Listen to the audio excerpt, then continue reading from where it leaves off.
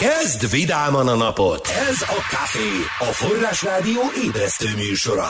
A csongorokat is át lehet ma hívni, hogyha szeretnétek megünnepelni a névnapjukat, ugyanis a csongor tör, török eredetű régi magyar személynév névnapja van ma, jelentése vadász madár.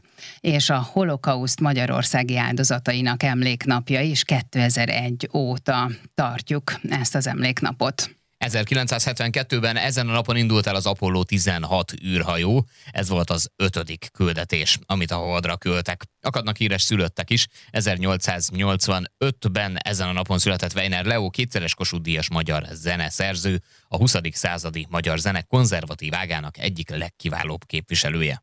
És hát a Néma film legnagyobb hatású személyisége 1889-es születésű Charles Chaplin, angol színész, Oscar díjas angol filmrendező, forgatókönyvíró, színész, zeneszerző, vágó, filmproducer, Filmjeiben nem csak főszereplő volt, sokszor ő írta, rendezte is a filmjeit, zenét is szerzett, vagy producerkedett is. Valószínűleg Chaplin volt a legkreatívabb, legnagyobb hatású személyiség a néma filmvilágában. Munkássága 65 évet hidalt át a viktoriánus korabeli Anglia mulatóinak színpadától kezdve szinte haláláig folyamatosan dolgozott. Aztán Tristan Sarah, akinek a neve így lehet, hogy nem sokat mond, 1896-os születésű, egyébként francia költő volt, művész és eszéista, a dadaizmus alapítója, és akkor így már talán egy picit érdemesebb megjegyezni a nevét. 27-es születésű 16. Benedek pápa, német teológus pap. Aki egyébként 2022 óta már ugye sajnos nincsen köztünk. 1932-ben ezen a napon született Poják Imre, olimpiai bajnok kötött fogású birkózó, a nemzet sportolója is volt ő és 63-ban született Gesztesi Károly, sajnos ő pedig 2020 óta nincs már velünk, magyar színész, szinkron színész, az egyik legismertebb, legjellegzetesebb hangú és legtöbbet foglalkoztatott magyar szinkron színész volt. Ugye, hogyha Shrekket említem, akkor egyértelműen meghalljuk már a hangját, de több filmben is szerepelt, a Jóban Rosszban, magyar filmsorozatban is, Dr dr. Füredi Attillaként, illetve a Magyar Vándorban álmos vezérként is különösen ismert lehet. Igen, hát azért az ő ö, szinkron szerepeit, ugye nagyon gyakran adta például Sylvester stallone is a hangját, és akkor még itt hosszasan lehetne sorolni, hogy kik voltak azok a színészek, akik az ő, ő hangján szólaltak, meg Vin Dieselnek is például, és a többi, és a többi elképesztő egyeniség volt a, a gesztesi karcsi. Aztán ma van a születésnapja Sobert Norbertnek, magyar fitness edző, üzletember, 71-es születésű, ugye Noébé, a szénhegyá, apja, nem ellensége, e, igazából... A zsírégető. Igen, igen a zsír, zsé. Szóval boldog születésnapot kívánunk Norbertnek és 73-as születésű Sel Judit Jászai Mari díjas magyar színésznő, érdemes művész, Hát nekem személyes nagy kedvencem, imádom az ő humorát, figuráját, csak szex és más semmi című film, hát szerintem szenzációs volt. Állítsátok meg Teréz anyút, hogy a kisvárosban és a szomszédokban is feltűnt annó. Zseniális kisugárzása van. Én, én is nagyon csípem egyébként, tehát Igen. hogy egy, egy annyira karakán, tényleg jó humorú nő, hogy egy igazi üdítő jelenség. Reméljük, hogy hasonlóan üdítően hat rátok a játékunk is, mert hogy az zajlik a mai napon is. Négy darab belépő a tét szombatra a Moltatabánya KC Carbonex Komló férfi kézilabda bajnokira. Ez majd este fél héttől lesz a tatabányai multifunkciós csarnokban. A kérdésünk pedig így hangzik, milyen nemzetiségű a MOL Tatabánya KC játékosa Mateo Márás? Az A válasz lehetőség szerint izlandi, a B szerint horvát. Küldjétek a helyes választ SMS-ben vagy Viberen a saját nevetekkel együtt 0620 978 978 5-ös. Forráskafé! Jó kedvre hangol! Fél hét múlt hat perccel itt a kávé, és ugye Roland említette, hogy hétvégén azért bőven megdőltek a meleg rekordok, ez a mai napra ugye sajnos nem mondható el, viszont hétvégén hát tényleg meleg volt, és, és hát úgy, úgy ilyenkor nekivetkőzik az ember, vagy, vagy talál egy vizet, például nagyon sok ismerősöm posztolt olyat, hogy megmártózott egy-egy vízben.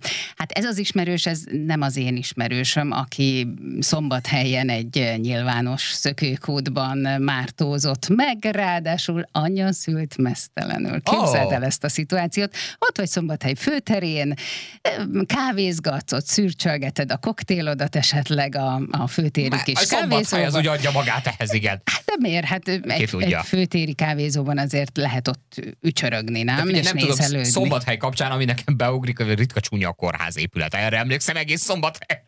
Hosszú évekkel ezelőtt voltam ott utoljára, azt hiszem talán a kórház épülete volt, de elnézésre nem, de ami azonnal beugrik, az egy nagyon szürke, nagyon csúnya épület. Valamiért erre asszociálok is Szombathely kapcsán. Én meg a főiskolára, mert oda jártam, meg... És a kórház épülete szürke? Az olyan csúnya? Nem Jól tudom. emlékszem? A, hát én kórházban szerencsére nem voltam. E, de akkor jó, nem, nem az jó dolog. Meg nem a, a laktanyára emlékszem, mert... Na, hogy, erre kíváncsi lennék azért. Hát igen, a, a volt férjem, ott, ott volt katona. Ja, értem, értem. És sokszor értem. meglátogattam. Ja, értem, értem, értem. Igen, hát fiatalság, bohóság, úgyhogy ez akkor megtörtént. Úgyhogy ezekre emlékszem is Szombathelyre, a szökőkútra nem. De hát nem tudom, hogyha valaki szeretne pucér férfiakat nézni ezek szerint, Akkor az egy jó hely. Főtér. Igen, nagyon úgy tűnik. Zsanettot így várta, úgy látszik. A szök, ötkor a szökőkútnál, ugye? Ez egy külföldi férfi. És hát csak Akkor egy... nem Zsanett, hanem Zsanett. Igen, lehet. És, és csak egy kis rövid szösszenet van fönt az interneten, hogy ugye ő ott wellnessezik, majd, mint aki jól végezte a dolgát, kijön, és fölöltözik. Tehát semmi törölközés, semmi ilyesmi, csak felhúzza az alsógatyáját, és akkor megy tovább az élet. Szóval ő ezt teljesen természetesen gondolta. Lehet, hogy ahonnan jött, nem tudni, hogy, hogy ugye milyen nemzetiségű, lehet, hogy ez ott természetes bevett szokás. Én nem tudtam, hogy az új borátot itt, itt forgatják Magyarországon, de ezek szerint lehet, hogy mégis. Hát lehet. Abban el tudnám képzelni ezt a jelenetet simán. Hát nézd, azért aki emlékszik, a mi, mi generációnk szerintem emlékszik, amikor még nem vértes agórája volt, hanem közművelődésháza, a Tatabányai Műintézmény sok-sok évvel ezelőtt, és volt előtte egy szökőkút, akkor ott azért mondjuk úgy, hogy lehetett látni fiatalokat, akik néha lelkesen hát már csak a tusfürdő hiányzott. És gyakorlatilag hasonló actionöket hajtottak végre, mint ez az úriember szombathelyen nem lepődött meg nagyjából senki, aki rendszeresen arra járt, ha látott így mondjuk gyerekeket fürödni a szökőkútban. Hát jó, de gyerekek és félnőtt, felnőtt férfi között azért van némi különbség. Hát becsüljük meg azt, hogy legalább egyedül volt, és nem tényleg mondjuk Zsanettel együtt ja. mártóztak meg így ja, párban. Megmosták volna egymás hátát, romantikásba. Hát igen, igen, hát hogyha komolyan gondolja valaki a wellness akkor akár be is ült, ülhetett volna, mert ott vannak ilyen zubogók is, tehát hogy lehetett volna tényleg ilyen jacuzzi feelinget csinálni. Hát lehet, hogy mondta volna az asszonynak, hogy gyere drágám, elviszlek wellnesselni. Az asszony megörült, felcsillant a szeme, már látta maga előtt. Négy csillag, öt csillag, koktél, svéd asztalos reggeli, mit tudom én, gyertyafényes vacsora, á, nagy rossz sem, kimegyünk a főtérre, aztán megmártózunk a szökőkódban.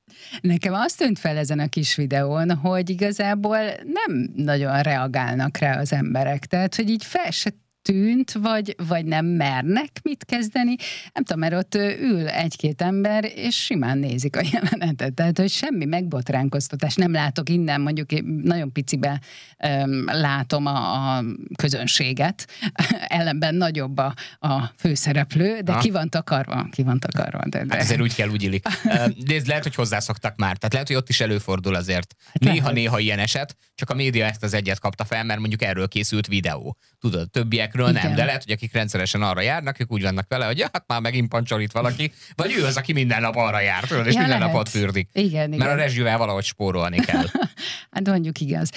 Én azt szoktam látni, és az elvileg veszélyes, hogy amikor így a gyerekek ilyen, ilyen szökőkúdvat, ami nem egy medence, hanem csak ugye följön a, a vízsugár, és akkor ott futkorásznak ilyen jó időben. Igen, igen, igen. Alatta, rajta, és akkor hát ez vicces dolog tényleg, tehát tehát jó pofa, nyári szórakozás lehet, de hogy ugye a higiéniai szempontból nem a legideálisabb. Hát mondjuk egy ilyen sem, ahol hát a szombathelyi úriember sem, Igen, igen, de hogy a gyerekeknek nem annyira ajánlatos mondjuk ezeket használni. Én úgy tudom. Aztán lehet, hogy ez is város és szökőkút eltérő dolog van itt mögötte, mert lehet, hogy a víz ott itt ilyen minőségű, ott meg olyan minőségű, de én úgy tudom, hogy azért az nem annyira jó. Hát eh, nézd, amellett, hogy azért sosem kérdeztem meg én sem a szakhatóságokat, szülőként nem biztos, hogy nagyon preferálnám, hogyha a gyerek szökőkútban szeretne fürödni, Ugye? bármelyik városban is, és akár ez a klasszikus szökőkút, akár ez a csobogó, ami úgy alulról Igen. jön, tudod, e, nem, tehát egyiket sem nem nagyon örülnék. Hál' Istennek még soha nem jelzett erre való szándékot. Nem. Sem a fiam, sem a lányom, nem, nem. Az ilyen, mert itt az Árpád téren is van, bár nem tudom, hogy megy régen ment, lehet, hogy megint menni fog majd csak nyáron, tudom, mert azért jó időben szoktak ezek menni, és amikor kicsik voltak, akkor persze őket is vonzotta, hogy ott rohangálás, mit tudom én, de elég hamar tudtuk adtuk, hogy ez nem egy jó munka, anya meg apa ezt nem nagyon támogatja, és akkor onnantól kezdve ezt elengedték. Az meg egyébként, hogy klasszik szökőkútban fürödjenek, az nem. Hát aztán majd ki tudja, lehet, hogyha nagyobbak lesznek, akkor poénból, brahiból, vagy mondjuk egy-egy buli után kicsit beafterezve így úgy gondolják majd, hogy, hogy mókás, az benne van a pakliban, azzal már nem nagyon fogok tudni mit kezdeni, de egyelőre, amíg még tudok rájuk hatni ilyen szempontból, addig még igyekszem arra felé vinni őket, hogy ezt inkább ne csináljuk. Majd jön a csekk, tudod neked, hogy szeméremsértés vagy egyéb ilyen bírság. Ja, hát... 6500 forint a legalacsonyabb összeg, ami ilyenre kiadható, a legmagasabb pedig 200 ezer forint, úgyhogy Na, készülj. Hát az, az egy jó drága fürdőzés, azért ezt meg kell hagyni. 6500-ra még azt mondom elmegy, de ezt mi alapján mérték, vagy, vagy mi alapján mérsékelik, vagy hogy van ez? Tehát, hogy Hát mit tudom, én, ha én oda mennék ezzel a testtel, akkor azt mondják, hogy 200 ezer. Ha oda megy egy szebben jobban kigyúrt csávó, akkor csak 6500, vagy mi? Lehet, hogy szavazást indítanak, tudod. Ott a, izé, kollégák, tudod, megnézik a Igen. közterület felügyeleten, vagy bárhol a rendőrségen megnézik a felvételt. Gyerekek, szerintetek ez mennyi legyen? Ez, ú, hogy néz ez ki? Tajóék, hallod? Ez 200 ezer simán. Én, én fizetem ki helyette, hogyha abba hagyja. Csak hagyja abba. Hát összedobják Itt a köpenyem, valami. Hát nézd azért, én mesztelenül egy közterületi szökőkútban Hát mondjuk úgy, hogy merénylet az emberi közízlés ellen, vélhetően az lenne. De szoktál elmenni strandra, vagy fürdeni? Az is merénylet az emberi közízlés ellen. Na de ilyenkor ezért használod ezeket a fürdőket, Persze, hát hogyne, hogyne, persze, de nem mesztelenül. Ja, jó, jó nem is feltételeztem mondjuk, de ezt, hogy így hozzátetted, így még jobb. Tehát, hogy nem, a nudista strandok azok valahogy sose vonzottak. Hát azok engem sem. Fú, de nagyon nem. Viszont volt egy kollégánk, egy itt lévő igen, hang, igen, aki nagyon-nagyon szerette. Nem fogjuk elmondani, hogy ki az, mert azért nem vagyunk annyira genyók, de volt olyan kollégánk, aki, aki néha szeretett ilyen műintézményekbe kilátogatni, mint a nudista strand. Nem egyébként biztos megvan a maga felszabadító érzése, én meg vagyok enélkül a felszabadító érzés nélkül, meg tudom, hogy ott nem számít, hogy ki hogy néz ki, tehát, hogy hallottam én ezeket a dolgokat, és nyilván aki akarja, csinálja, és tényleg élvezze, én úgy érzem, hogy inkább kihagyom. Igen, én is ehhez a vonalhoz csatlakoznék. Nekem az a felszabadító, hogy némi ruha azért van rajtam. Igen, Tehát, meg számomra is, meg a környezetem számára is. Igen. Na jól van. Hát akkor háromnegyed hétnél járunk, úgyhogy hamarosan érkezik majd Hédi a friss hírekkel. Ettől felébredsz. Forráskafé. Jó reggelt, 7 óra 3 perc, és talán uh, itt Tatabányán erre szokták azt mondani, hogy mint amikor dézsából öntik. Most rendesen rázendített. Az előbb kinyitottam az ablakot, és meg is ijedtem ezektől a hangoktól. Úgyhogy uh, kitartás nektek, és vigyázzatok a gyalogosokra, mert uh, hát ilyenkor ők azért elég könnyedén kaphatnak uh, alvázmosást is. Úgyhogy óvatosan, óvatosan, hogyha gyalogosok mellett haladtok el, és hogyha már az utakról van szó, akkor jelzem, hogy az M1-esen Győr irányában, Szárliget magasságában Trafipax vagy rendőri jelenlét is mutatkozik az élő térképen. Ha van infótok az utakról, akkor pedig jöhet 0620 978 978 ös Hát figyelj, így mondtad, hogy kinyitottad az ablakot, megijedtél a hangoktól. Hát én is jártam már ilyen környékeken azért, hogy ugyanez volt a helyzet. Meghallottam hasonló sztorikat másoktól is, de hát itt most tényleg csak az eső miatt volt ilyen. Viszont lekopogom, egyelőre nem akarom elkiabálni, de úgy tűnik, bár még csak most indul be a reggeli forgalom, hogy Igen. hiába a nagy esőzés, de egyelőre még minden rendben az utakon, de tudjuk jól, hogy sajnos ilyenkor ez mivel szokott járni. És itt a térségben, mert egyébként látom, hogy például az ország más részein több résztvevős baleset, meg hasonlókról adnak hírt, bízom benne, hogy ezúttal minket ez el fog kerülni. Ami nem fog elkerülni minket, az továbbra is a játékunk. Természetesen ezen a héten is játszunk végig, mégpedig kézilabda belépőkért, négyesével sorsoljuk őket minden egyes kaféban ugye Múl Tatabánya KC Carbonex Komló férfi kézilabda bajnoki lesz április 20-án szombaton, este fél héttől a Tatabányai multifunkciós csarnokban. Milyen nemzetiségű a Múl Tatabánya KC játékosa Mateo Marás ez a mai játék kérdésünk. Az A válasz lehetőség szerint izlandi, a B szerint horvát, küldjétek el nekünk a helyes választ a saját nevetekkel együtt, SMS-ben vagy Viberen 0620 978 978 ös Ma egyébként szóba fog még kerülni a kézilabda vendég kapcsán is, igaz leginkább a női kézilabda, mert hogy Sebestyén Máté érkezik majd ide hozzánk, a Tatabányai Sportklub női kézilabda szakosztály vezetője.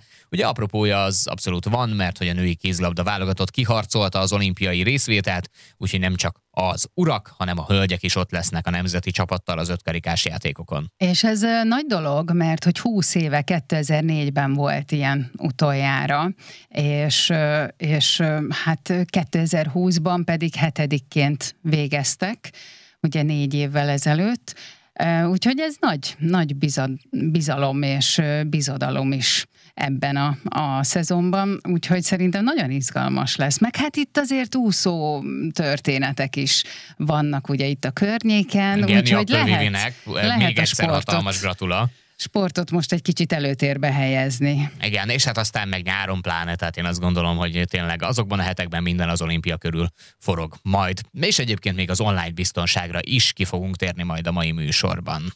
Így van, jön majd a kiberbiztonság technikai szakemberünk, akitől sok infót tudunk majd kicsalni, hogy ne legyünk csalás áldozatai, meg egyéb bűncselekmények áldozatai. Ugye a gyerekek körében nagyon nagy divat így viccelődni egymással, és hát amikor a vicc már komolyra fordul, akkor az nem annyira jó, úgyhogy ebben fogott nekünk igen sokat segíteni majd a vendégünk, Solymos Ákos. Aki ugye gyakorlatilag visszatérő vendég itt nálunk. Fontos témák tehát a mai műsorban, nem sokára pedig a csillagok üzeneteit is elhozzuk majd nektek. A reggel jókedvű, de milyen lesz a folytatás? Mi, mi tudjuk, milyen lesz a mai napod. Café Horoszkóp. A Hold és a Plutó szembenállása a mai napon féltékenységi drámákat hozhat a kos életébe. Ha te vagy féltékeny, jobb, ha nem hajszolod bele magad, alaptalan ugyanis az egész. Ha rád féltékenyek, akkor igyekezz racionális érvekkel megnyugtatni a másikat. Kedves Bika, vannak szituációk, amikor egyáltalán nem számít, hogy kinek van igaza. Hagyni kell a dolgokat úgy, ahogy vannak. Ma pont így járhatsz el te is. Jobban teszed ugyanis, ha valakire inkább ráhagyod a dolgokat, és nem állsz le vele vitatkozni. A Merkur még retrográd, és visszahozhat régmúlt témákat az ikrek jegyű számára. Nem baj, ha néha kicsit elmerengsz ezeken az emlékeken. A lelkednek most valószínűleg pont erre van szüksége. Ne hidd azonban, hogy mindez haszontalan, néha pont ilyenkor jönnek a friss gondolatok is a jövőről. Kedves rák, ma egy félreértés adódhat, amely téged is érinthet, és ideális alkalmat teremthet arra, hogy valaki kihasználja a lehetőséget egy ellened irányuló ármányra, támadásra. Ha így történik, tisztázd a dolgokat mielőbb, és nézd az események jó oldalát, legalább igazán kiismered az illetőt. Nagyon kellemes élményed lehet a mai napon, kedves oroszlán, valakiről ugyanis, akivel szemben eleinte fenntartásaid voltak. Kiderülhet, hogy a szándékai valójában tisztességesek és számodra hasznosak is. Add hát meg neki a bizalmat, amelyet kiérdemelt, és enged, hogy közelebb kerüljön hozzád, ha akar. Kedves szűz, ma a retrográd Merkur egy idegesítő, talán kellemetlen embert hozhat az utadba, azzal a fajtával, akinek semmi és senki nem elég jó, és ennek állandóan hangot is ad. Talán nehezen tudod megállni, hogy ne akasz vele tengelyt, de hidd el, nem érdemes. Kedves mérleg, ma választ kaphatsz egy kérdésre, ami talán már egy jó ideje foglalkoztat, és ami a legnagyobb valószínűséggel szerelemmel van kapcsolatban. Talán valaki végre szint val, vagy kiderül róla valami, de az is lehet, hogy olyan információt kapsz, ami segít eldönteni egy kapcsolatot dilemmáit. Kedves skorpió jegyű, lehetséges, hogy egy bizonyos területen nem rendelkeztél elegendő önbizalommal, és egyáltalán nem vagy tisztában a képességeiddel, emiatt pedig eddig nem használtál ki minden lehetőséget, de ennek ma vége szakadhat, nincs több kifogás, képes vagy arra, amit te magad is szeretnél. Az oroszlán hold sok szenvedélyt jelez a nyilas jegyű számára, ráadásul egy hírt vagy információt kaphatsz valamiről, ami segíti a tisztánlátást, és végre eldöntheted, merre indulj, Végre a te kezedbe kerül az irányítás, élj hát vele. Ne feledd azonban, hogy a körülmények sokat változtak az elmúlt hetekben. Ne aggódj, te ebben is megtalálod majd a helyedet. Kedves Bak, neked is sikeres napot jeleznek a bolygók. Ma egy olyan helyzetbe kerülhetsz, amelyben megmutathatod, mire vagy képes egy adott területen. A siker pedig, melyet ma valószínűleg el fogsz érni, kihatással lehet egy személyes kapcsolatodra is. Lehet, hogy ez most még nem nyilvánvaló a retrográd Merkur miatt, de hamarosan új kalandok várnak rád, kedves vízöntő, és igen gyorsan el fogod felejteni az elmúlt időszak nehézségeit. Addig is készülj fel, figyelj, tanulj, szerez információkat. Ez most a felkészülés ideje, hogy amikor kilépsz az új helyzetbe, felkészült legyél és sikeres. Kedves halak, ma egy nagyon jó hír bearanyozza a napodat. Az is lehetséges, hogy egy nyomasztó dologtól szabadulsz meg, és az is, hogy nyersz valamit, vagy más módon ér szerencse. Mindenképpen lesz valami, ami örömet okoz neked. Forráskafé. Vidám ébredés minden hétköznap reggel 6-tól 10-ig. Hát a Forrás Rádió Forráskafé családja is kibővült. Most itt van velünk Hédi. Jó reggelt! Sziasztok, jó reggelt! Hédi baba, Wow. Mert hogy így érted, akkor szoktak így kezdeni, nem valami. Kibővült a család, igen. Megérkeztem a szomszédból, igen. Igen, hoztam nektek egy aranyos kis hírt. Képzeljétek el, egy kutyáról fogunk most beszélni, aki új feladatot kapott a rendőrségtől, menesztették szegénykét, mert hogy annyira cuki, barátságos és játékos volt. Menesztették. Menesztették. Megbukott a rendőrakadémián. Oh. Hát figyelj, azért egy rendőrkutyának keménynek kell lenni, az biztos. Igen, a ma már 8 éves ebet eredetileg kábítószerkereső kutyának képezték ki, de hát nem volt túl sikeres, mert hogy tényleg annyira kedves volt és barátságos, hogy nem vált be. Uh-huh. Viszont, mivel rendkívül okos, egy, egy labradorról van szó egyébként, tehát ugye ők amúgy nagyon-nagyon intelligens állatok, rendkívül okos, emiatt átkerült a tűzoltóság kutató és mentő csapatához, ahol most már rangidős tiszt és földrengések utáni mentésben vesz részt. Tajvanon van egyébként ez a kutyus, tehát ott lakik. De várjál, hogyan lehet túl kedves egy kábítószerkereső kutya, hogy oda megy, megérzi, és így rákacsint a másra. Tudom, hogy ott van áll, tudom, tudom, kiszagolta, de nem mondom el senkinek. Vagy mi? Hát, nem tudom. Lehet, hogy De simán csak úgy mindenkit is megnyalogatott, vitte a labdát, nem tudom, játszott. Ja, ahelyett, hogy kikutatta volna a szart, Ahelyett, hogy igen, akar. igen, igen. Hát visszaadta Lehet, hogy gazdának. Könny, igen, könnyen le lehetett kenyerezni esetleg egy-két finom falattal, nem tudom, nem tudom. Ők, ők ilyen típusok, úgyhogy valahogy ezt tudom elképzelni. Viszont a nagy szív az, az a ilyen mentőakcióknál az nagyon fontos dolog hogy ott ugye addig kutassanak, tehát hogy ne adják fel. Tehát, Hát ott ugye emberi, emberi életet is Igen. kutat a kutya, illetve sajnos a holtesteket is. Igen. ugye amikor már ott tart a dolog, hogy, hogy a mentés már ebbe a fázisába van, de nagyon-nagyon sikeres, hét bevetésen van túl a kutyus, legutóbb április elején, akkor volt Tajvanon egy elég nagy komoly földrengés, ott ö, dolgozott, Rogernek hívják amúgy a kutyust, tehát ezt azért még így hozzátenném, és hamarosan nyugdíjba vonul, mert hogy most már 8 éves és 9 évesen nyugdíjba vonul. Uh-huh. Nyugdíjba kell vonulnia, tehát ez egy, ez egy ilyen ö, protokoll. És ők nem tudják kérelmezni, hogy hagyj jöjjenek még egy kicsit. Nem, ők nem járhatnak nyugdíj mellett dolgozni Ők még nem. pluszba, tudod, tehát hogy, hogy azért vannak ilyen nyugdíjas szövetkezetek, de nyugdíjas kutyaszövetkezet nincsen, legalábbis erről még nem hallottam. Na de, de akkor így happy end a történet, mert akkor ő is boldog. Megtalálta a hivatását Igen, egyértelműen. sikeres igen, benne. Igen, igen. Teljesen Tehát a játékos természete miatt tökéletes arra a feladatra, hogy, hogy, hogy az ilyen mondjuk földrengések utáni mentésben részt vegyen. Egyébként érdekes, mert ugye az is ugyanúgy kutatás, mint mondjuk egy kábítószer keresés, de valószínű, hogy ott tényleg nagyobb szigor szükségeltetik. Hát igen, ott ugye a gazfickók után kell kutatni, meg az ő maradékuk után, már mint az ilyen porok és egyéb szerek után. Igen. Itt pedig ugye embereket ment, tehát hogy ezért némi különbség van a kettő között, ám bár mégis kutató munka mind a kettő. És egyébként rengeteg segítséget tudnak ugye nyújtani ezekben a, a katasztrófákban, a, a, mert a katasztrófa utáni mentésekben a, a kutyusok. Volt szerencsém ilyen szakemberrel beszélgetni, és, és tényleg elképesztő, amiken keresztül mennek. Egyébként szerintem azért az egy lelkileg nagyon megterhelő munka lehet, és valóban az tudja ezt űzni, akinek hivatása, mármint most az emberre gondolok. Nem tudom, hogy a kutya ebből mennyit fog fel úgy, hogy ez, ez tragédia. Gondolom, hogy valamennyit ő is megért belőle, de azért az embereknek, akik ott dolgoznak, és ugye vannak nagyon kiváló magyar mentőcsoportok, uh-huh. úgyhogy nekik maximális respekt ezúton is.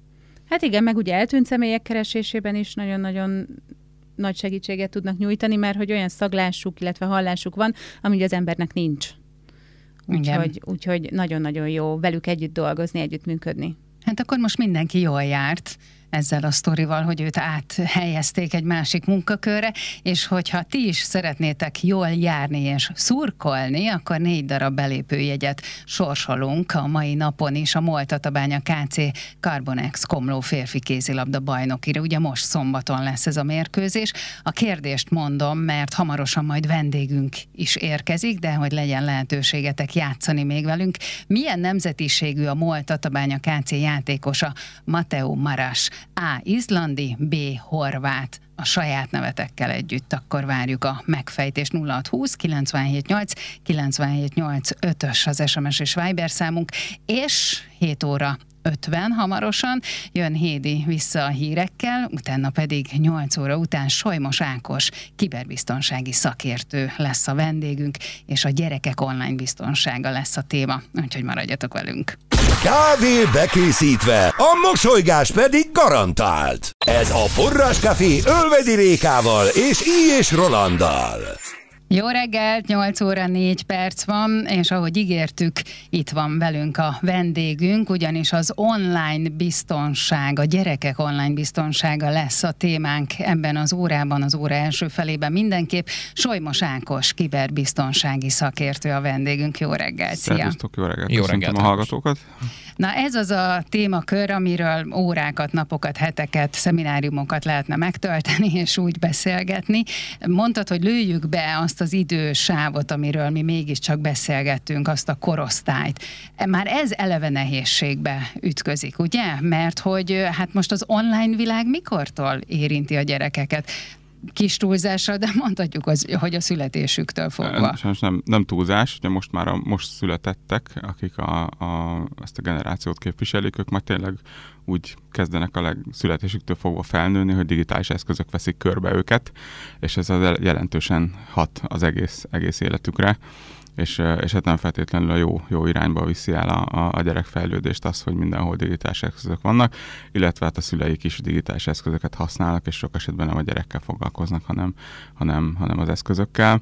Ezt a gyerek is látja, és, és ha ezt veszi mintának például, akkor, akkor később csodálkozni fog a szülő, hogy miért nem beszélget vele a gyereke, meg miért nem tudnak szemkontaktust tartani, tartani és, és hát ez meg megint messzire vezet, hogy, hogy ennek milyen szerepe van mondjuk az, hogy utána be kell ülni a gyereknek az iskolapadba, és, és nem tud 30 percen vagy 45 percen keresztül figyelni a, a tanára, meg, meg szemkontaktust tartani, ami meg a tanárakat ki, illetve hát ugye szintén kutatások kimutatták már, mert most már hál' vannak erős kutatások, hogy, hogy kisgyerekkorban a, a digitális eszköz használat, tehát maga a képernyőidő az olyan inger küszöböket határoz meg a gyereknek, amitől utána ugye nem fog már, nem lesz érdekes a, a könyv, nem lesz érdekes, ha kimegy az erdőbe, mert, mert ott nem történik semmi, tehát hogy, hogy teljesen más világa alakul ki a, a gyereknek, viszont az oktatás az még mindig könyv, meg olvasás, meg, meg iskola központú, úgyhogy ebből is levezethető az, hogy miért vannak a,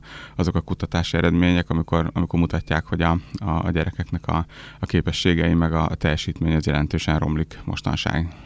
Ugye, de az online világban nem csak szórakoznak, vagy információt szereznek, vagy zenét hallgatnak, játszanak, stb., hanem azért egymás lehet ott egy kicsit piszkálgatni. Na most ilyen dolgokat meg szerintem pláne nem mondanak el otthon. Eleve, hogyha alig van kommunikáció, értelmes kommunikáció szülő és gyerek között, akkor azt, hogy őt piszkálják, vagy sérelmek érik, vagy ö, rosszul érzi magát valamilyen okból kifolyólag, ezt meg pláne nem fogja elmondani otthon. Igen, a, hát az online zaklatás, ami az egyik ilyen, ilyen nagyon, nagyon fontos téma, és, és hát itt megint ez egy tök újdonság, hogy, hogy abban nem gondolnak bele a szülők, hogy minden kisebb korba kapnak a gyerekek okos telefont, ott abban van például a fényképezőgép is. És most beszélgettünk nemrég a, a Nemzetközi Gyerekmentő Szolgálatnak az egyik ilyen rendezvényén rendőrökkel, akik mondják, hogy igen, gyakorlatilag a gyerekek ugyanúgy uh, fotóznak már, ahogy a kezükbe kapják a, a, az eszközt, és hát egymást is fotózzák, adott esetben olyan szituációkban is, amikor, amikor nagyon nem kéne, hiszen nem tanították meg nekik, hogy hogyan kell ezt, ezt kezelni, meg etikusan kezelni, meg mit szabad csinálni azokkal a képekkel. Tehát magukról is készítenek adott esetben mesztelen fotókat, egymásról is készítenek, viccből is csinálnak. Volt ilyen eset, hogy a iskolai mosdóba fotózgatták egymást ott a, a fiúk, hm. és az a rossz ebbe az egészbe, hogy, hogy egy-egy ilyen fotót, hogyha mondjuk egy, egy, egy kiskorú tovább küld, vagy beküld viccből egy, egy iskolai csoportba, vagy egy bármilyen más, akár ilyen, ilyen online felületre, akkor rögtön bűncselekményt követel és, és nagyon durván bünteti a, a törvény ezt, a, ezt az egészet, és persze mindenki feltételez, ez nem azért csináltam, mert most egy pedofil bűnöző, de gyakorlatilag ezt a tényállást tudja kimeríteni azzal, amit, amit csinál, és pillanatok alatt akár egy egész osztály is belekerülhet egy ilyen, ilyen hát gyakorlatilag bűncselekmény kategóriába. Na most itt ugye nagyon fontos a szülők szerepe nyilván Ákos, ugye, hogy tudatosan készítsék fel mondjuk a, a gyereket a, a digitális eszköz használatra, csak ilyenkor azért bennem például felvetődik, hogy rengeteg felnőtt sem használja tudatosan ezeket az eszközöket, hát hogyan tudná akkor mondjuk a saját gyermekét erre felkészíteni, ha ezzel a képességgel mondjuk ő sem nagyon rendelkezik? Igen, ez két dolog. Az egyik a, a, a szülői példamutatás, amit csinálni kéne, és ezt is például nagyon érdekes elkezdték kutatni, és ez is már onnantól kezdve begyűrűzik a gyerek életébe, hogy akár mondjuk az anya, amikor szoptatja, akkor mondjuk nem a gyerekkel szemkontaktál, hanem nyomogatja a telefonját. Ezt a gyerek is látja, meg érzékeli, illetve amit, amit én szoktam mostanában kiakadni, vagy hát látom, hogy, hogy tolják a, a gyerekeket a, a, a szülők a babakocsiba, és közben nyomogatják a telefont. És ugye ennek az a hátránya, hogy, hogy régen, emlékszem, még én is ezt csináltam, hogy toltam a gyereket, és meséltem neki. Ő, ott egy kutya, ott egy rigó, ott egy azért valami, tehát beszélgettem a gyerekem, akkor hogyha nem látott, de hallotta a hangomat. Most ez teljesen kezd kiveszni. És ugye egyrészt a, a megint a gyerekszülő kapcsolat minősége romlik ezáltal, másrészt nagyon sok szülő azt gondolja, hogy, hogy attól, hogy a gyerek most nem reagálja le, hogy igen, ja, ott tényleg az egy fekete rigó, vagy egy mit a erdei rigó, vagy valami, attól még nem is hallja pedig, de. Tehát ő folyamatosan tanul, szívja magába, mint a szivacs ezeket az információkat, és ezek elmaradnak. És ez szintén megint egyrészt tanulási nehézségeket fog okozni, ismerethiányt fog okozni, a gyerek-szülő kapcsolatát fogja, fogja rontani. Erre most volt egyébként az LT, LT-nek egy, egy kutatása, ahol azt vizsgálták, hogy és az óvodáskorban már, tehát óvodáskorban a, a, az okostelefon használata, azt nézték, hogy, hogy azok a szülők, gyerekek, akik, akik használnak okostelefont aktívan, meg azok, akik nem, azok hogyan viselkednek mondjuk egy játékszituációban, vagy ilyesmi, és, és hát látszott, hogy, hogy rosszabbul teljesítenek azok a, a gyerek-szülő kapcsolatok, ahol, ahol aktívan a, a gyerek napi több órát képernyőidőt tölt, vagy képernyő előtt tölt. Az oktatásban mennyi figyelmet fordítanak ennek a jelenségnek mondjuk osztályfőnöki órán, vagy van egyéb olyan tantárgy, ahova ezt be lehet emelni, és beemelik-e? Hát ez erről gyakorló pedagógusot kéne megkérdezni, én ugye nem, nem vagyok az, de, de azt, azt tudom, hogy, hogy van elvileg a, a Nemzeti Alaptanterbe ilyen téma, de én úgy gondolom, hogy nagyon kevés. Tehát miközben a gyerekek tényleg már óvodáskorban most már kapnak sok esetben telefon, meg iskoláskorban, meg szinte majdnem, majdnem mindenki, vagy legalábbis ez a 8-10 éves korosztály is már az, aki, aki rendelkezik saját digitális eszközzel, biztos, hogy nem a megfelelő súlyánál van kezelve, és akkor itt hívnám fel a, a figyelmet a, a Nemzetközi Gyerekmentő Szolgálatnak Safer Internet programjára, ahol a saferinternet.hu oldalon, legörgetve az oldalon jobb oldalt lehet előadást rendelni, tehát hogyha az iskolánkban mondjuk a pedagógus nem érzi magát elég felkészültnek arról, hogy internetbiztonsági témáról beszélgesse, vagy egy konkrét témát kivesézzenek a, gyerekekkel, akkor tudnak a, a Safer Internet oktatóktól ingyenes oktatást vagy ingyenes előadást kérni, ki kell tölteni egy formot, és akkor fognak jelentkezni a, a, a Széfer Internet programtól, és akkor fog valaki menni és megtartja ezt az előadást, úgyhogy ezt érdemes, érdemes kihasználni. Ugyanitt hívom fel a figyelmet arra, hogy ilyen oktatókat is várunk, én is ilyen Széfer Internet oktató vagyok, és kevesen vagyunk.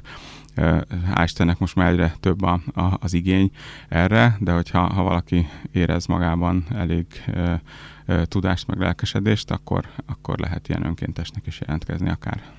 Ugye nagyon sok ilyen okos kütyű van már, és van kifejezetten olyan fejlesztés, ami a gyerekek biztonságát veszi alapul, és, és azt szolgálja, segíti. Például ilyen az okos óra, ami ugye nem egy telefon, nem egy hívásra alkalmas készülék, illetve hát korlátozott mértékben igen, amivel ugye mégiscsak van egy ilyen biztonságérzete a szülőnek, hogy na adok a gyereknek egy okos órát, tudom, látom, hogy hol van, kapcsolatba tudok vele kerülni, végül is akkor ezzel így megoldom ezt a helyzetet, és én figyelek a gyerekemre. Ez mennyire valós biztonság? Hát a online biztonság terén szerintem sem ennyire, tehát attól nem fogja meg, megvédeni a, a, a gyereket. A fizikai világban ott, ott, ott elképzelhető, hogy, hogy ad egyfajta biztonság ez a szülőnek, hogyha látja ő tényleg fizikailag mondjuk egy ilyen nyomkövetőként, hogy, hogy hol van a, a, a gyerek, de én sokkal fontosabbnak tartom azt, amit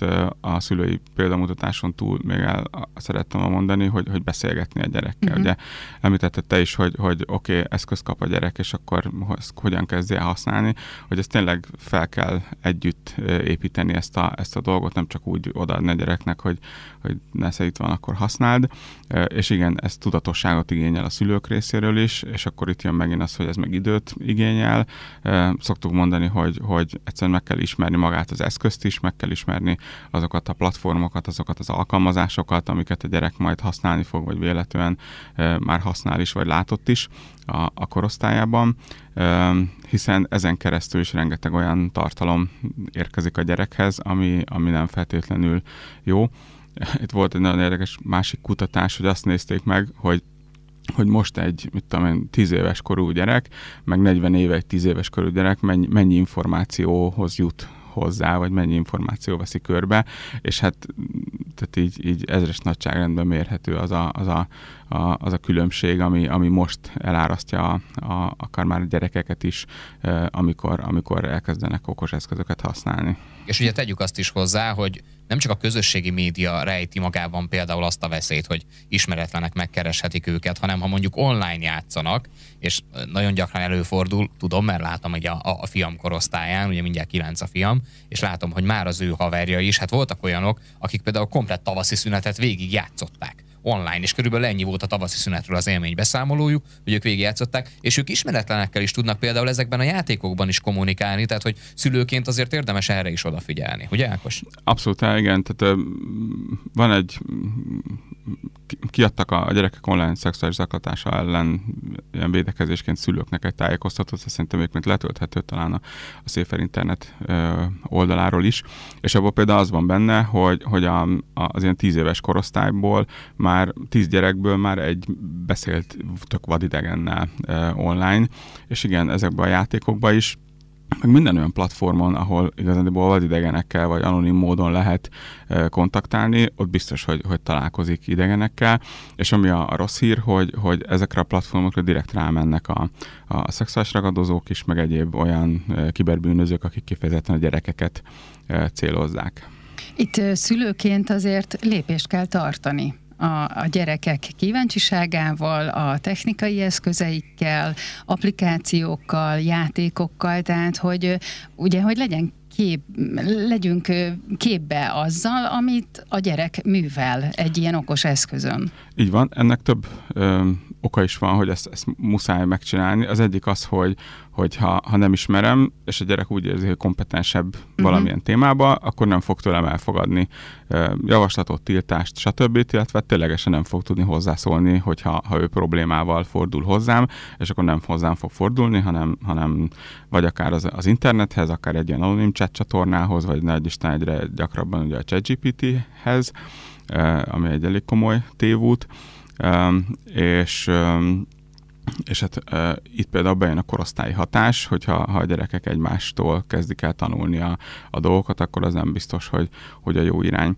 És, uh, és itt igen, szülőként amit még el tudunk rontani egyébként, az például az, hogy, hogy ezeknek az alkalmazásoknak, meg a közösségi média felületeknek is megvan a korhatár és, és ez nem véletlen, hogy általában például a közösségi média a felületeknek 13 éves kor a, a korhatára. Ez szintén tudományosan kimutatott, hogy, hogy ez az a korosztály, vagy ez az a kor, amikor, ami előtt, tehát mondjuk egy 10-12 éves korú gyerek még nem feltétlenül tud különbséget tenni a valóság, meg a, meg a, a, képzelet szülötte dolgok között, és itt válik el az, hogy már a gyerek agya annyira érett lesz, hogy, hogy mondjuk egy közösségi oldalon lát valamit, akkor azt úgy esetleg jó helyre tudja tudja bepozícionálni, hogy ez most, most mennyire kamu, vagy mennyire higgyem el, vagy, vagy egyáltalán milyen hatást gyakorol rá.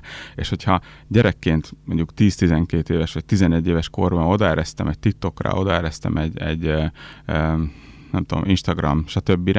ott egyszerűen jönnek olyan tartalmak, amikre ő nincsen még felkészülve, és ez egyszerűen károsan hat a, a, a lelki fejlődésére, a szexuális fejlődésére, meg úgy egyébként a világképére a gyereknek. És általában kontroll nélkül, vagy nagyon sok esetben, akkor inkább így mondom, még mielőtt itt esetleg szülőket magamra haragítanék, de így a, amiket hallok, meg amiket így mondjuk tapasztalok, nagyon sok esetben abszolút kontroll nélkül használhatják a, a gyerekek ezeket a felületeket, sőt, sok esetben még a szülők segítenek kijátszani Igen. ezeket a, a dolgokat, ugye Ákos, hogy azért ez egy Igen, ezt, ezt meg szoktam kérdezni, amikor megyek iskolákba így, így oktatni, hogy hogy, eh, hogy hányan milyen felületeket használnak, és akkor mondják, hogy hát igen, én már három éve használom a Facebookot, és akkor ha anyu segített, hogy, izé, hogy kell kijátszani a regisztrációt. Szóval ez egy nagyon rossz példa, amikor szülőként mm. már 11-2 éves korban arra kondicionáljuk a gyereket, hogy hogyan lehet szabályokat ö, meghágni, meg, meg kicselezni, mert ezt egyébként velünk szembe ugyanúgy fogja a gyerek majd alkalmazni, hiszen tőlünk is ezt látta. Ákos, mit lehet akkor tenni, hogyha valamilyen rossz érzésünk van, zaklatás történt a gyereknél, elmondott valamit, vagy nem mond el semmit, de érezzük, hogy valami van a levegőben. Hova lehet fordulni? Kihez menjek először, akár pedagógushoz, vagy más szakemberekhez? Mi a teendő? Egyrészt az szintén nagyon rossz hír, hogy, hogy 13 éves korban nem fogom tudni elkezdeni a gyerekkel ezt a kommunikációt. Ugye mesélj már, hogy mi történt veled az uh-huh. online térben. Tehát ezt, ezt minden, ezt, amint a gyerek digitális eszközt kap, sőt, ezt már előtte érdemes elkezdeni ezt a kapcsolatot kialakítani, és ahogy említettük, ezt ebbe időt meg energiát kell bele tenni, pont azért, hogy a későbbiekben, hogyha a gyerek rosszul érzi magát, vagy valami olyan történik vele, akkor, akkor a szülővel az közölje, vagy, vagy egyetem meg tudjuk beszélni. Hogyha ennek komolyan komolyabb dolog van, akkor egyrészt azt szoktuk javasolni, hogy készítsenek képernyőfelvételeket, tehát bizonyítékokat gyűjteni. A másik, hogy hol lehet például káros tartalmakat bejelenteni, a biztonságosinternet.hu, ez a ez a széfenyinternet.hu-nak egy, egy másik uh, ilyen funkciója, uh, ahol, ahol kifejezetten káros tartalmakat, zaklatást, ilyesmit lehet bejelenteni, és nagyon fontos, hogy itt most történt egy fejlesztés, most már gyerekek is, tehát amikor oda megy az ember erre a platformra, akkor ki tudja válaszolni, most gyerek vagy felnőtt, és hogy milyen témába akar bejelentést tenni, és most már gyerekekre is optimalizálták ezt a felületet, tehát akár, hogyha gyerekeket bántották, vagy ő tarta, talált olyan tartalmat, ami, ami, ami nem kellene, hogy ott legyen, akkor ő is be tudja jelenteni, ezt minden esetben megnézik emberek, és akkor vagy elindítják a, a, a szükséges eljárást, akár rendőrség felé, vagy a Nemzeti Média Sírközlési Hatóság felé. Ez az egyik. A másik pedig van a, a kékvonal.hu. Itt egyébként telefonszám is van, amit most fejből nem fogok tudni mondani, de a honlapon meg lehet nézni. Ott pedig szintén valós emberekkel lehet, lehet beszélgetni különböző traumákról, meg egyebekről, amik, amik érték a, a, a gyereket, illetve hát pszichológushoz érdemes fordulni, hogyha ha, ha annyira súlyos probléma van. Ami egy nagyon fontos dolog, hogy mindentől nem fogjuk tudni megvédeni a gyereket, az megint nem megoldás, hogy nem adunk soha neki majd e, eszközt, hanem tényleg ez a beszélgetés, ez a kapcsolatépítés, ez ami nagyon fontos, hogy a, a gyereknek, hogyha bármilyen rossz érzése van, akkor szóljon, és akkor, akkor lehet elkezdeni utána segíteni. Hogyha eddig nem beszéltünk ilyen dolgokról a gyerekkel, akkor hogyan induljunk ennek neki? Mert ugye nem kéne a közepébe vágni, meg tiltani, meg, meg stb., mert az ugye inkább csak rosszat szül. Mi az első lépés? Hogyan puhítsuk a gyerkőcöt? Itt egy ilyen érdekes dolog van, hogy, hogy ugye a gyerek főleg, hogyha eddig elengedtük ugye a, a uh-huh. digitális térbe, akkor nagyjából fogalmunk nincs, hogy ő mit csinált, meg ha nem is ismerjük. Ilyenkor azt lehet kihasználni, hogy a, a gyerekek is, meg azért alapvetően az emberek segítőkészek és, és ilyenkor el kell kezdeni feladni azt a büszkeségünket, hogy már mi vagyunk a felnőttek, és akkor mi, mi biztos, hogy jobban értünk meg, már csak azért is fogad el.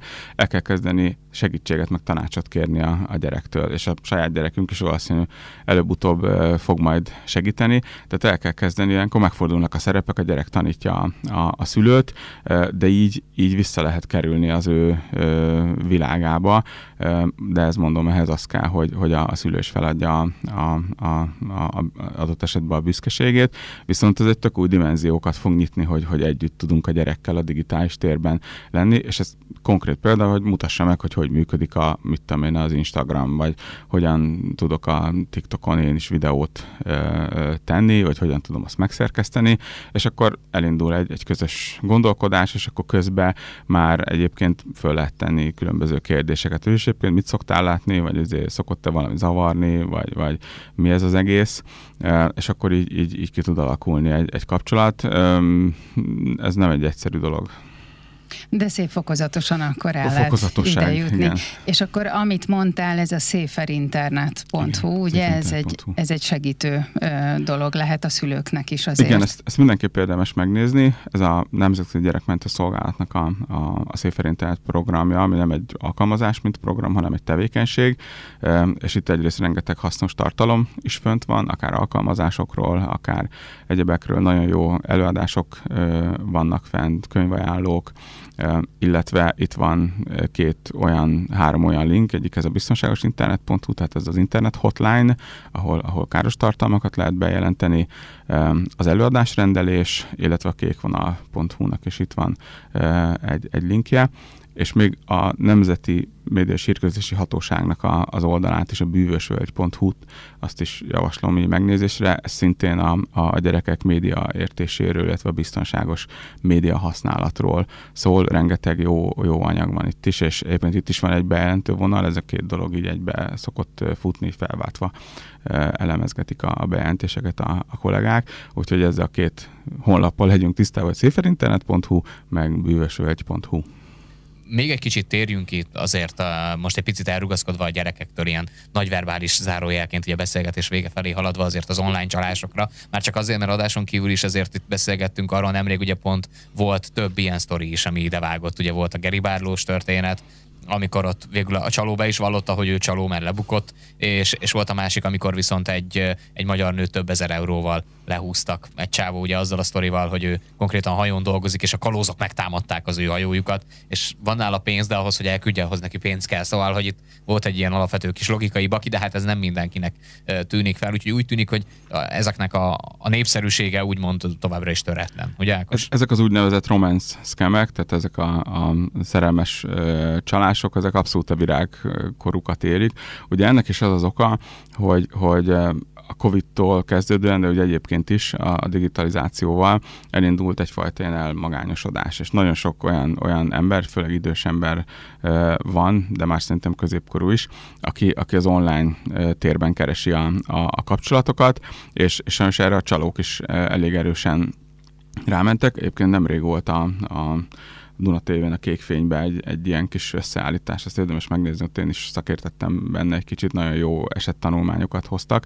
Tehát, hogy, hogy ennek az a lényege, hogy ugye megkeresik az interneten, vagy egyéb csatornán, messengeren a random az embereket, és hogyha valaki elkezd kapcsolatot építeni akár ilyen híres embernek mondott csalókkal, akár, akár egy normál hétköznapi emberrel, a bizalmába férköznek, és amikor már kialakult egyfajta kapcsolat, ne Isten valamilyen ilyen érzelmi szál is kialakult, akkor elkezdenek jönni egy ilyen történettel. Nekem is volt ismerősöm, aki, aki szintén több hónapos beszélgetés után egyszer csak kiderült, hogy a, a, a férfinak ő egy, ő egy olajfúró tornyon dolgozott, és hogy a fia rosszul lett, és hogy nem fér hozzá az online bankkártyája, bankszámlájához, ezért helikoptert kell rendelnie, hogy, hogy a fiához eljusson, és ezért kérne 1700 euró és akkor itt elkezdtünk levelezni. Én, én szeretek, nekem az egyik hobbim az, hogy be, be, beszállok ilyen, ilyen csalásokba, meg levelezek csalókkal, meg ilyesmikkel, és itt is elindultunk a helikopter cégnek a vonalán, meg a, a férfi oldalán, meg a hölgy, aki ezt intézte, és akkor szépen összeraktuk, megtaláltuk a, a férfinek a fotóit a, a egy ilyen francia romance scam mes listázós oldalon, és megnéztem a helikopter cégnek a, a, az oldalát, meg az elérhető lehetőségei természetesen tök más volt, mint amit a, a, a férfi magadott, e, és akkor itt is jött az érzem zsás, hogy hú, nem bizol bennem, de miért van ez, meg hogy amint földet érek, rögtön utalni fogok, stb.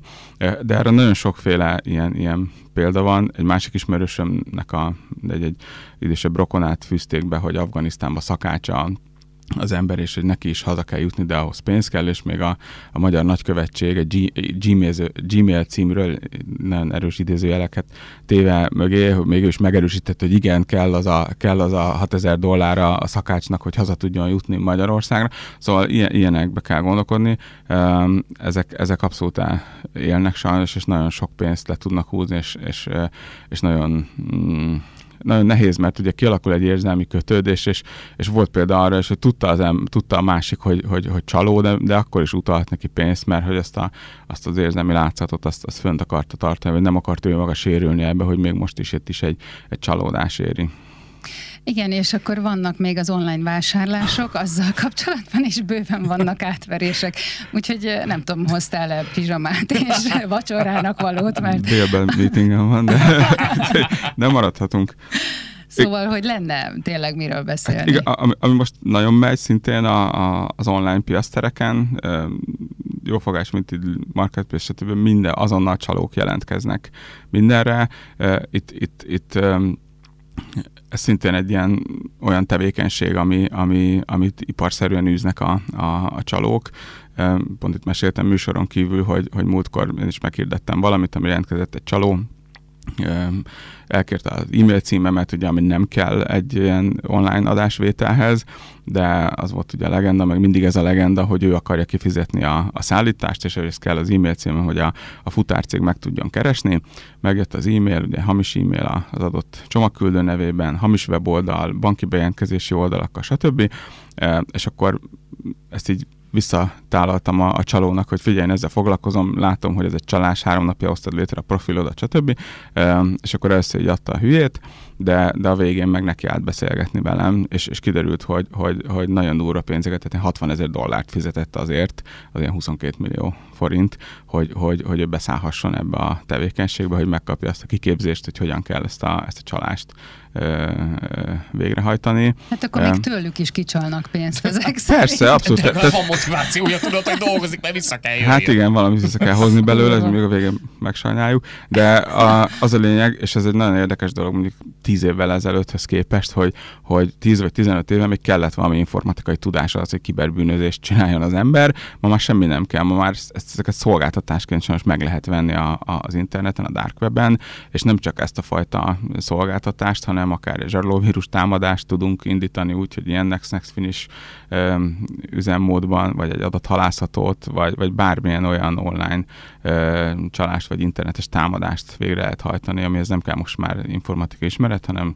kell egy ilyen bitcoin tárca, vagy egyéb kriptovalután, ki tudom fizetni, és akkor gyakorlatilag bárki tudja csinálni. Nagyon alacsony lett ez a belépési küszöb, egyre több olyan ország van, ahol elérhető az internet, viszont nagyon rosszak a, a, akár a munkalehetőségek, vagy, vagy nagyon komoly szegénység van, és ez, és ez sajnos motivációt ad embereknek, hogy, hogy a kiberbűnözésben próbálják meg a, a bevételt megszerezni. Hát remélem azért mi nem erre adtunk motivációt, hanem inkább arra, hogy a szülők minél többet és értelmesebbet beszéljenek a gyerekekkel, hogy nehogy áldozatok legyenek, na meg mi felnőttek se legyünk áldozatok, és ne fussunk bele ilyen dolgokba, amit ugye példaként említett Ákos. Hát köszönöm szépen, hogy itt voltál, és megosztottad ezeket. Vigyázzunk magunkra, ugye? Solymos Ákos kiberbiztonsági szakértő volt a vendégünk, akivel a gyerekek online biztonságáról, na meg a felnőttek online biztonságáról beszélgettünk. Forráskafé. Egy tartalmas napindítás. A mikrofonnál Ölvedi Réka és I. és Roland. 3.49-nél járunk már, és kaptunk egy bejelentést, mi szerint vigyázzatok az úton, hogyha Aggostyán felől Tardos irányába mentek, mert egy fa került az úttestre, és nagyjából az út felét el is foglalja, úgyhogy ez egy veszélyforrás, óvatosan arra felé, és nem tudom, hogy mi a helyzet az utakon gyorsan kinézünk. Komáromból van egy Roland infónk, azt megkaptuk SMS-ben. Sziasztok, Komáromban Mártirok úton Petőfivel szemben három autó ütközött. Körültekintően közlekedjünk. Köszönjük szépen ezeket az infókat. Nézzem, hogy hivatalos csatornákon futott-e be bármi. Onnan semmi élőtérképen esetleg valami? A rendőri jelenlét az ugrabugrál, ahogy ráközelítek az egyes főúton Tatabánya előtt, Szárliget és Tatabánya között, illetve Szárnál is az egyesen és Óbarok környékén is, és még Dadnál van a Dózsa György úton úgy látom, hogy ezeket dobja fel, mint rendőri jelenlét. Hogyha ki tudjátok egészíteni, akkor jöhet az SMS vagy Viber üzenet 0620 978 978 5-ös az SMS és Viber számunk, és akkor is jöhet erre az SMS vagy Viber számra egy üzenet tőletek, csak egy picit más üzenet, hogyha szeretnétek a szombati bajnokin ott lenni ti is, és szurkolni a kék tigriseknek, mert most komlóval fognak össze csapni, és négy darab belépőjegyet sorsolunk az április 20-ai szombati 18.30-kor kezdődő mérkőzésre. A Tatabányai multifunkcionális csarnokban lesz mindez. A játék kérdése pedig így hangzik milyen nemzetiségű a MOL Tatabánya KC játékosa, Mateo Marás. Az A válasz lehetőség szerint izlandi, a B szerint horvát. Ha tudjátok a helyes választ, akkor a saját nevetekkel együtt, tehát SMS-ben, illetve Viber üzenet formájában küldhetik, küldhetitek el nekünk a 0620 978 978 5-ös számra, és 9 óra után is maradunk a kézilabdánál, bár akkor inkább egy picit a női vonal fogja majd a főszerepet játszani. Sebestyén Máté érkezik majd ide hozzánk, Tatabányai Sportklub kézilabda szakosztály vezetője. Nyilván ugye annak apropóján, hogy itt a hétvégén például a női kézilabda válogatott is kiválóan szerepelt, úgyhogy egy picit a kézilabda női vonalának az utánpótlás neveléséről fogunk beszélgetni. 8 óra 47 perc, hamarosan jön Hédi, frissíti a híreket. Tartsatok velünk, várjuk Sebestyén Mátét. Magával ragadó hang. Bye, kedvesség. Ja, és itt van Roland is. Ez a Forráskafé Ölvedi Rékával és I Rolanddal. Szép reggelt, és mondhatni sportos reggelt, ugyanis a figyelem jócskán a kézilabdán van, ezúttal a női kézilabdára került, hiszen a magyar csapat kvótát szerzett a Párizsi olimpiára. Negyedszer fordul elő, hogy a magyar férfi és női kézilabda válogatott is olimpiai résztvevő. 20 éve, 2004-ben volt ilyen utoljára. Na de mi a helyzet helyi szinten? Vendégünk Sebestyén Máté, a Tatabányai Sportklub kézilabda szakosztály vezetője. Szia, jó reggelt! Jó reggelt, üdvözlöm a hallgatókat!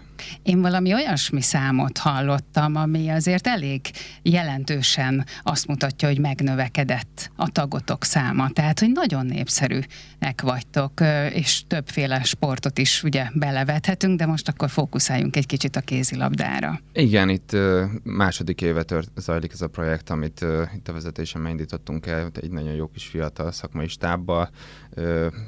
Akkor tehát egy 50-60 fő között volt az utánpótlás igazolt játékosainknak a száma, most büszkén mondhatom, hogy most már az ilyen, inkább a 160-hoz lehetünk közelebb, de 150 fölött vagyunk, az most már biztos. És én nagyon fiatalon kezditek el a, a foglalkozást a, a gyerekekkel, hiszen már óvodáskorban ugye indul, akkor még szivacskézilabda, jól, jól tudom? Szivacskézilabda zajlik még talán U10-es kor az utolsó, de, de igen, most, most indult el egy óvodai programunk, nagyon nagy volt az érdeklődés, ezt szeretném is amúgy a későbbiekbe kiterjeszteni, én, én a, a fiúknál nagyon sokat foglalkoztam óvodásokkal, és egy nagyon fontos időszaknak gondolom, és egy nagyon hasznos foglalkozásoknak de ami az, az alap, az igazából az elsős korosztály, és ott gyakorlatilag ilyen 30-32 fős csoportokkal foglalkozunk. ugye nagyon lelkesek még a kicsik. Gondolom például az ilyen sikerek, mint mondjuk most a, a női nemzeti csapatnak az olimpiára való kijutása, ez azért ilyenkor pluszban lelkesíti őket, hiszen közvetlen példaképek vannak, akiket ugye lehet aztán követni. Természetesen, bár nem tudom, hogy ebbe a korosztályba nem tudom, hogy Debrecenben hányan látogattak ki, de nekünk az is, az is nagyon nagy dolog volt, hogy Tatabányán rendezték a férfiaknak a, a selejtezőjét. Ezt tudom, hogy számtalan kisgyerekünk volt kint, valószínűleg vitte a barátnőjét is, úgyhogy azért voltak is újabb jelentkezőink, és az az atmoszféra, amit így ezeknek az eseményeknek köszönhetünk, és a magyar szurkolásnak, az, az életre szóló emlék ezeknek a fiataloknak. Mekkora kihívás jelenleg van a női kézilabdában utánpótlás nevelni Tatabányán, és ezt azért kérdezem így, mert ugye Tatabányáról sokszor elmondjuk, hogy nagyon jó helyen fekszik földrajzilag, közel van Pest, közel van Győr, hát mondjuk a sport utánpótlás nevelésben ez nem biztos, hogy a, a legkönnyebb helyzetet teremti, hiszen ugye a gyerekeket el tudják vinni máshová is a, a, a szülők. Mi az a plusz, amit ti próbáltak mondjuk itt helyben most hozzáadni, amiért mondjuk titeket érdemes választani? Egy nagyon jó ö, támogató légkört és szakmaiságot gyakorlatilag így röviden ezzel tudnám összefoglalni. Ö, korábban is ez, ez azért adott volt, de valamiért mégis volt egy nagyobb elszívó erő a, a környező akadémiákra. Tényleg nagyon sokan mentek el mondjuk Győrbe, de akár a Nekára, még távolabbi akadémiákra is. Most egyelőre Előfordul egy-egy esetben, hogy valakik mondjuk el, elmennek tőlük, mindig úgy engedjük el őket, hogy, hogy sok sikert kívánunk, és hogyha esetleg nem úgy sikerülne ez a projekt, akkor várjuk őket vissza szeretettel. Én remélem, hogy ha ez így adódna, akkor ezzel élnek is. De nálunk vannak olyanok például, hogy fogadó órát tartunk a, a szülőknek, hogy minél több visszajelzést adjunk számukra, és ott az, az ottani visszajelzések alapján azt kapjuk, hogy, hogy, hogy elégedettek azzal, amit most itt kapnak a gyerekek, és így nem akkora a, a, az elszívó ereje ezeknek az akadémiáknak, de aztán majd meglátjuk, hogy már ha tényleg ott vannak, akkor majd mi lesz a, a helyzet. Na most ugye eléggé fiatal szakembergárdával dolgoztok, ez egyfajta szemléletváltást is hozott az elmúlt egy-két évben már? Természetesen, ez egy, ez egy teljesen tudatos elgondolás volt a részemről. Én, én azt gondolom, hogy talán itt a hazai rendszertől egy kicsit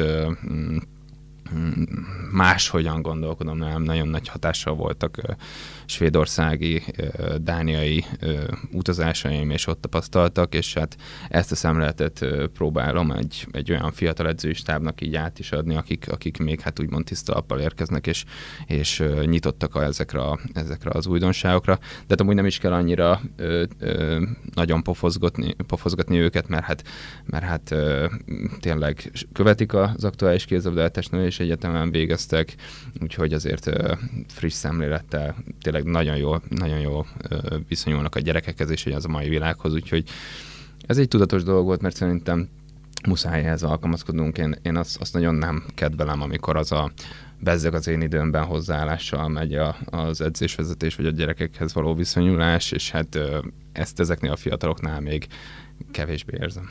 Na most mi az, amit mondjuk a skandinávok másképp csinálnak, mint szinte bárhol máshol a világban? Azt azért látjuk, hogy a skandináv kézilabda az elmúlt években hihetetlen sikerszériában van a férfi vonalon is. Ott ugye látjuk elsősorban a dánokat, meg a, meg a svédeket, ugye a nőknél, meg talán a norvégok, akik igazán erősek, de hát ott azért most van fönt éjszakon van még, tehát bőven gyakorlatilag bármelyik válogatottat lehetne emlegetni, sőt, hát azt hiszem, hogy ebbe a vonalba álltak be például a hollandok is. Igen, gyakorlatilag. Mi az, amit ők másképp csinálnak? Szerinted utánpótlás szinten? Most egy, tudom, hogy itt nagyon hosszasan lehetne ezt ragozni, de úgy nagy vonalakban összefoglalva. Igen, egy nagyot sohajtotta, ezt így Hát azt gondolom, hogy vannak olyan dolgok, amiket uh, mi megpróbálunk átvenni, és talán ez, ez uh, emiatt is tudunk ilyen jól működni, és, és van olyan, amit, amit nem biztos, hogy nem biztos, hogy áthozható. Amikor először jártam Dániába, akkor én hazajöttem, és mindent, uh, azt hittem, én leszek itt az új uh, Dán kolónia, de aztán így hamar kiderült, hogy ez így nem működő. Uh, Szerintem a legfontosabb különbség az a, az a, az a fajta szociális környezet, hogy tényleg tényleg nem csak arról van szó, hogy az edzők ben nincs meg ez az eredménykényszer, és nem az a céljuk, hogy a gyerekekkel, nem tudom én, U8, U9, U10, 12, bármilyen korosztályban nyerjék a mérkőzéseket, hanem fejlesztik a gyerekeket, és az, ezt a szülők is magukével teszik.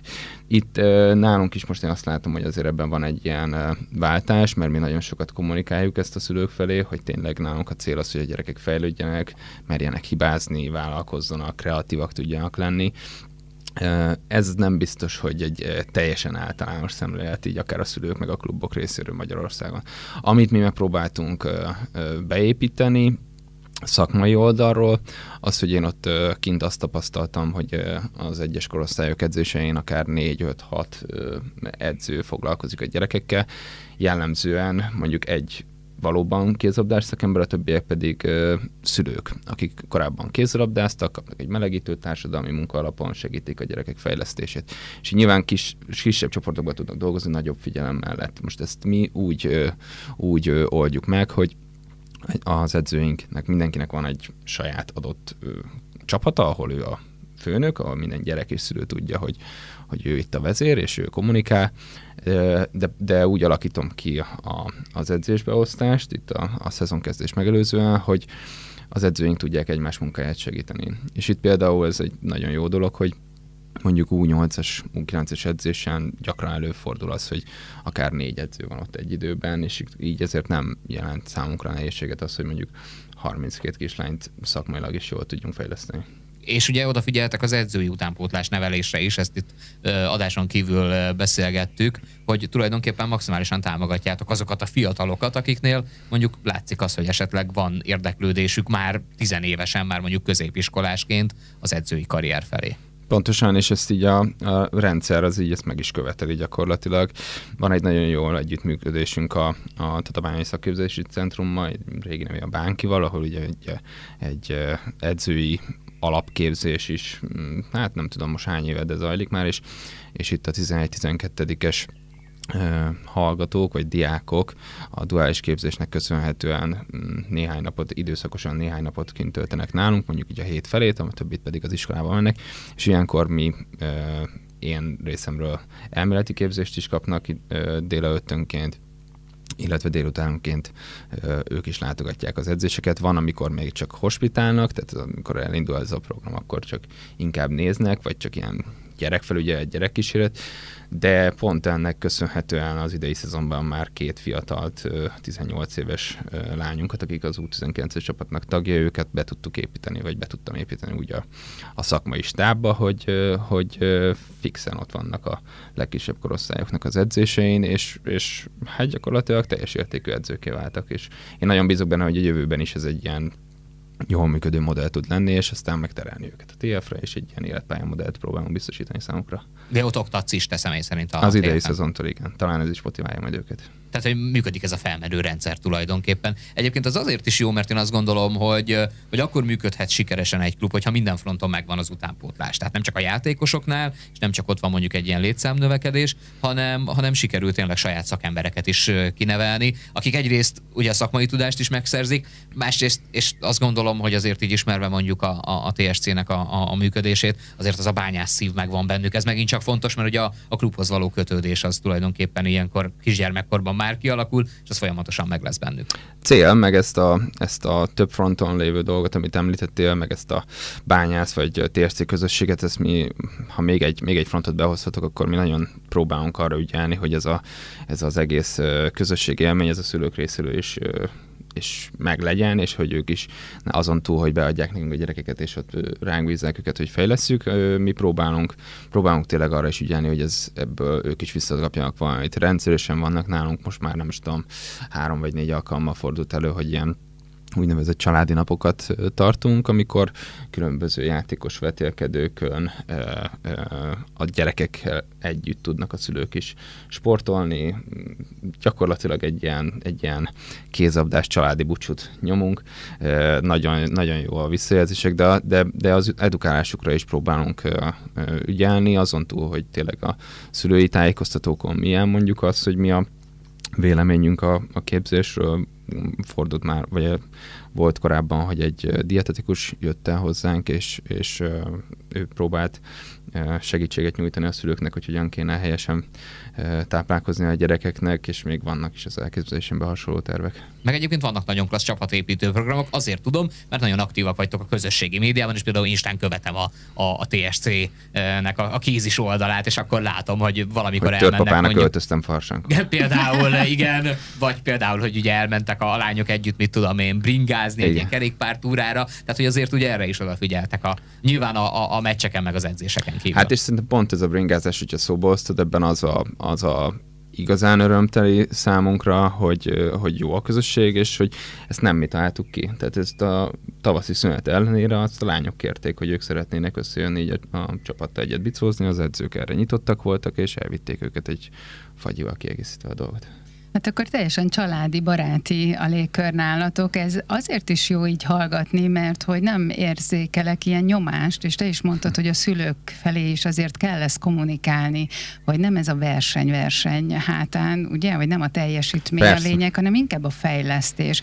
És szerintem egy ilyen közegben a tehetség valahogy jobban ki tud teljesedni, vagy, vagy kiugorni, nem? Én is ezt hiszem, nyilván ez sok év, mire ez kiderül, de nagyon jók a visszajelzéseink, meg én azt gondolom, hogy ez, hát nálunk a nyomás az, az így nem, nem jelenik meg, ezért én nagyon hálás lehetek a, a vezetőségnek, Sámuel Beton elnök úrnak, hogy ő abszolút támogatja azt a, azokat az elképzeléseket, amiket a amiket én így vázolok felé.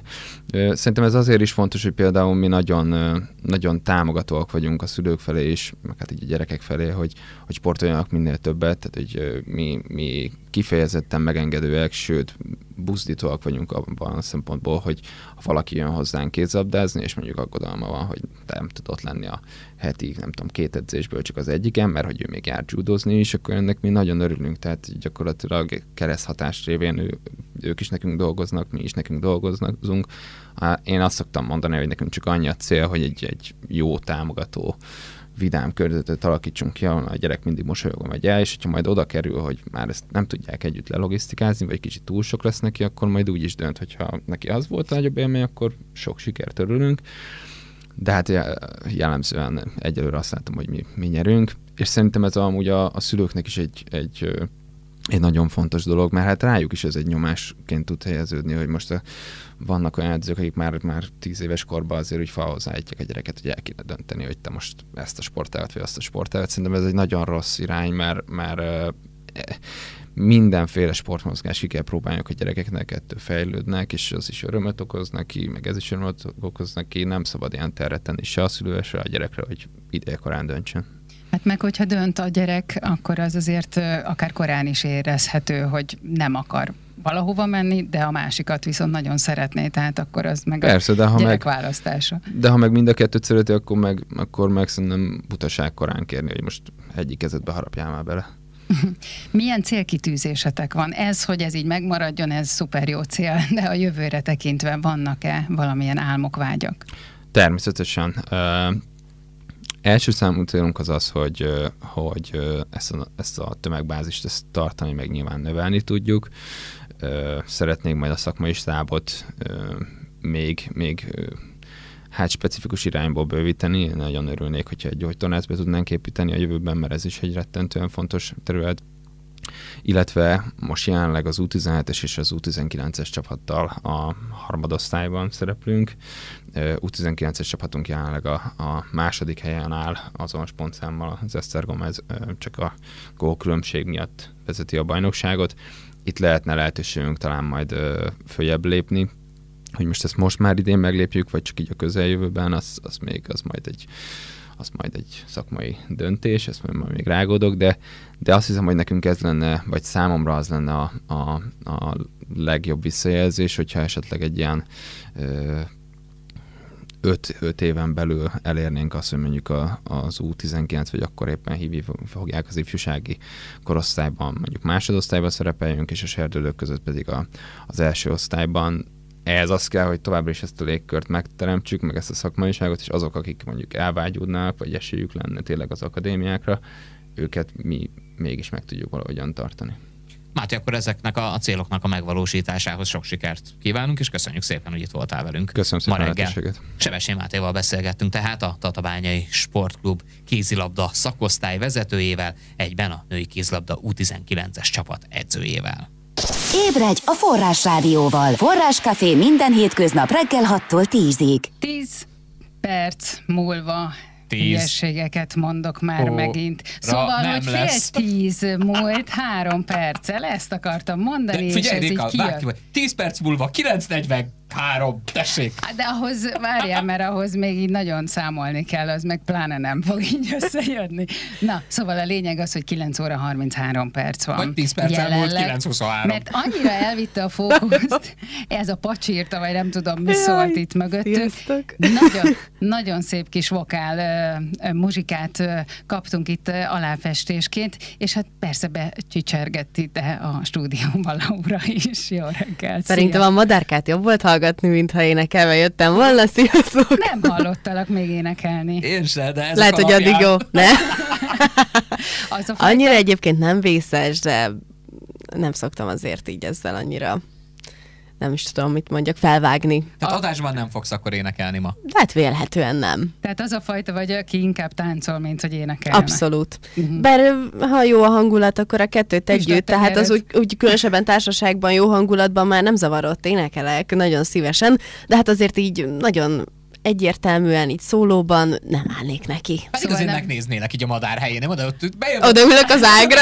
Kinézek, és azt látom, hogy Laura ott ül a fán, és énekel. Hát ez már így uh, alapvetően, hogy ott ülök, és nézek erre felé is érdekes lenne. Hát, hogy. Lehet, hogy megkérdeznétek, hogy jól sikerült az előző este, vagy a reggel, vagy bármi. És gyanítom, hogy nagyon segítségkérően nézni, mert az ülnél ott, és így nézni mert valaki szedjen innen le. Hogy kerültem én ide? Igen.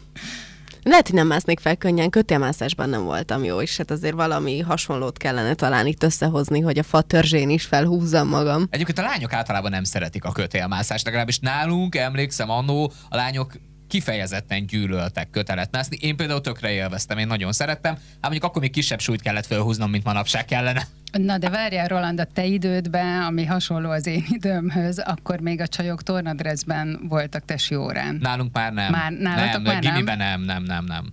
Jó, mert nálunk még igen, tehát én eleve ettől írtóztam, hogy még egy ilyen tornadrezben, amikor lent mindenki kis googolva, vagy terpeszülésbe, vagy akár, hogy néz fölfelé, nézi mindenki a másiknak a popóját, és hogy hogy mászik föl kötélen, szerintem ez írtózatos dolog. Hát akkor, és ugye láttad, mutattam itt neked az amerikai atlétáknak ezt a, a dresszét, hogy miben hogy kellene nekik. Hát, hát erősen nem tiltakoznak. meg. Igen, szerintem megfogják. Tehát tudod, Laura, hogy elmutatjuk adáson kívül, egy ilyen, a, maga a dress itt így elől így nagyon föl van vágva, uh-huh. szóval ilyen Igen. meglepően merész. Még én is azt mondom rá, pedig hát na, nem vagyok ilyen téren egy visszafogott fiú, de szerintem is nagyon merész. Igen, egyébként a lányoknak visszatérve valóban kellemetlenebb lehetett ilyen szempontból, mert mióta egy rövid nadrágban vagy egy meleg A fiúk meg ezért szeretik jobban ezt a műfajt. Igen, de... Hát igen, ott ült mindenki, és így nagy szemekkel fölfelé néztek. Nálunk hát, ezt nem volt, mert egyébként mi külön tesiztünk a csajokkal, tehát általában Aha. ők voltak bent, mi meg a jéghátán is megélünk alapon, tök mindegy, hogy milyen idő volt. Mi mentünk ki fotizni, tudod? Tehát, hogy gyerünk, uraim, a pálya körül három kör, aztán mehet a játék, általában ez volt. Néha akkor kellett, hogy na akkor most mit tudom én, fussunk egy Coopert, vagy másszunk kötelet. Nekem ezekkel nem volt bajom, ha ilyen talajtorna lett volna, meg gerenda, meg ilyenek az volt a néhány év alatt talán egyszer vagy kétszer, azzal nagyobb bajom lett volna. A kötélmászással én például tök jó barátságban voltam. Jó kis szekrényugrás, meg. én azt szerettem. Hát Dobbantás, meg. Én inkább szekrényt ugrottam, mint, mint kötelet hát én másztam. Is, én is. Igen? Igen. Ilyen, ilyen emlékek élnek bennem, hogy én azt nagyon élveztem, azt nagyon szerettem. Mármint a szekrényugrás, tehát ezzel így nagyon jól el voltam. Hogy most mit művelnék ott, azt nem tudom. Nem tudom, nekem Akkor a, tájt Nekem a főiskolán a téridőugrás jött össze az általában a bulikban. Hát, az már egy másfajta sport, és nem szokták úgy díjazni. Nem is, nem is osztályozták. és nem tanári felügyelettel történt mindez. De volt olyan is, de ezt most inkább hagyjuk. Általában nem, valóban.